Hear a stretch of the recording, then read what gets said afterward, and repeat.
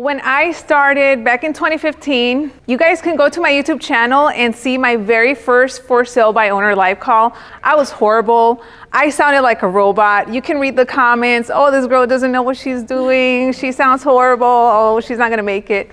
And let me tell you, I knew that I wanted to go after listings. And when I pressed record, when I was making that call, I was so nervous because first of all, I had never made a call to a for sale by owner. And then aside from that, I was recording this and I told myself, you know what?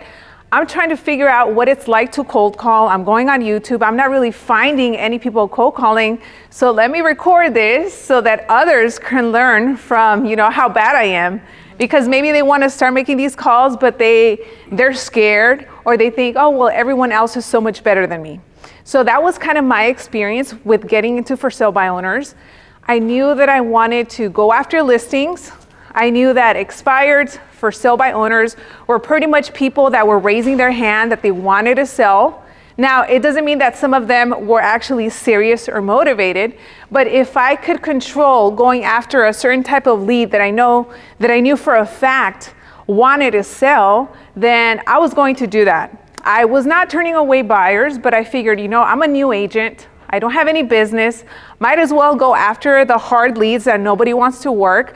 I had always heard how agents were scared to call expireds and for sale by owners because how they answered and they're always rude and they yell at you and oh, you, all you realtors are the same. So in my head, I said, you know what? I'm going to make this a challenge for me. I'm going to learn all of the objection handlers to the top objections and things that people say over the phone. And it's always the same, the same thing. Oh, well, you guys all do the same thing. I have never heard of your company. Oh, well, how many homes have you sold? Or, oh, I don't need you. Or this and that. You know exactly the type of things that these expireds and FSBO say. So I made it a goal to know and memorize at least three to four objection handlers for every single objection that I would hear. So if you guys aren't role playing or if maybe you're scared about making these calls, that's the first thing that you need to do. Start practicing and role playing objection handlers.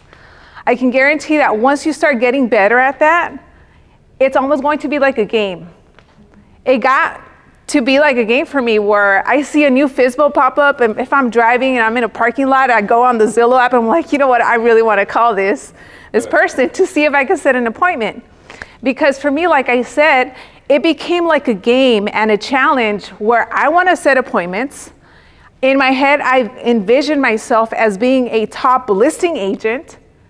So when I would see these people pop up in my CRM or on Zillow or on forsalebyowner.com, I saw those as opportunities for me. I saw those as paychecks.